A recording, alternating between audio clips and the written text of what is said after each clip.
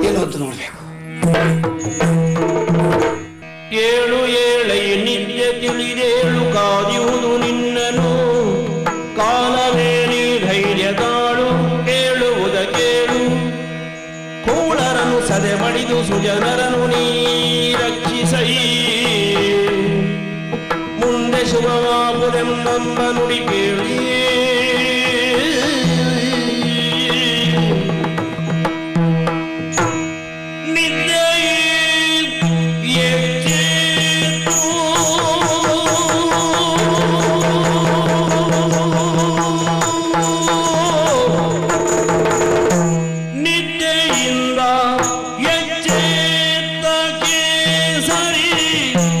ಹೋಗಿದನು ಮನದೊಳಗೆ ಅಚ್ಚರಿ. ಕೇಸರಿ ಹೊತ್ತಿದನು ಮನದೊಳಗೆ ಅಚ್ಚರಿ. ಬಿದ್ದ ಸ್ವಪ್ನದಿ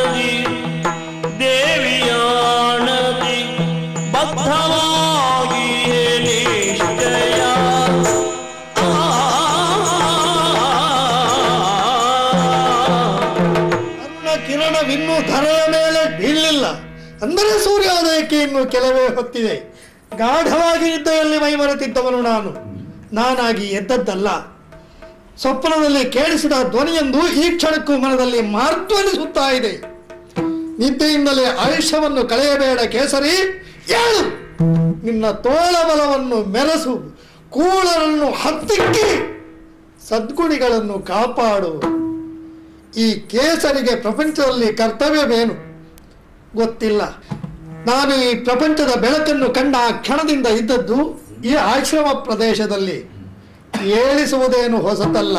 ನನ್ನನ್ನೇ ಮೊದಲೇನು ಅಲ್ಲ. ತ್ರೇತೆಯಲ್ಲಿ ವಿಶ್ವಾಮಿತ್ರನ ಯಜ್ಞ ಸಂರಕ್ಷಣೆಗೆಂದು ರಾಮಲಕ್ಷ್ಮಣರು ಹೋಗಿದ್ದಾಗ ಸೂರ್ಯೋದಯದ ಸುಪ್ರಭಾತ ಕಾಲದಲ್ಲಿ ವಿಶ್ವಾಮಿತ್ರನು ಉಚ್ಚ ಕಂಠದಿಂದ ಕೂಗಿ ಕರೆಯುತ್ತಿದ್ದರಂತೆ. ಕೌಸಲ್ಯ ಸುಪ್ರಜಾ ರಾಮ ಪೂರ್ವ ಸಂಧ್ಯಾ ಪ್ರವರ್ತತೆ ಉತ್ತಿಷ್ಟ ನರಶಾರ್ದೂಲ ಕರ್ತವ್ಯಂ ದೈವಮಾನ್ನಿಕಂ. ಏಳು ನರಶಾರ್ದೂಲನೇ ಕರ್ತವ್ಯವನ್ನು ದೇವರ ಕೆಲಸವೆಂದು ಮಾಡು. ಹಾಗೆ ರಾಮಭದ್ರನನ್ನು ಲೋಕ ಕಲ್ಯಾಣಾರ್ಥವಾಗಿ ವಿಶ್ವಾಮಿತ್ರನು ಎಚ್ಚರಿಸುತ್ತಿದ್ದರಂತೆ. ಈ ಕೇಸರಿಯು ನಿದ್ರಿಸುತ್ತಿದ್ದಾಗ ಇಂದು ಎಬ್ಬಿಸಿದವರು. ವಿಶ್ವಾಮಿತ್ರರಲ್ಲ.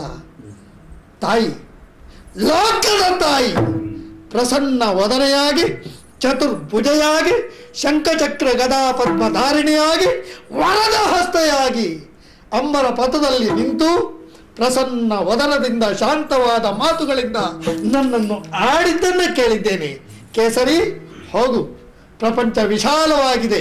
ಇಳೆಯು ನಿನ್ನನ್ನು ಕೈ ಬೀಸಿ ಕರೆಯುತ್ತಾ ಇದೆ. ಹಾ. ಗುರುಗಳು ಒಂದು ದಿನ ಹೇಳಿದ್ರು, ನಾನು ಕೇಳಿದೆ, ನಾನು ಯಾರು ಈ ಪ್ರಪಂಚದಲ್ಲಿ ನನ್ನ ಪಾತ್ರವೇನು ಎಂದು. ಅದಕ್ಕೆ ಕಾಲ ಉತ್ತರಿಸ್ತದೆ ಮಗನೇ, ಕಾಲವು ಕೂಡಿ ಬರದೆ ಹೋದ ವಿನಃ ಯಾವುದನ್ನು ನಾವು ಹೇಳಕೂಡದು, ನೀನು ಅದನ್ನು ಒತ್ತಾಯಿಸಿ ಕೇಳಕೂಡದು ಎಂದಿದ್ರು. ಆದೀತು, ಗುರು ನಿರೂಪವು ಅದೇ, ಇಂದು ಅವ್ಯಕ್ತವಾಗಿ ಆಡಿದ ದೇವಿಯ ಮಾತು ಅದೇ.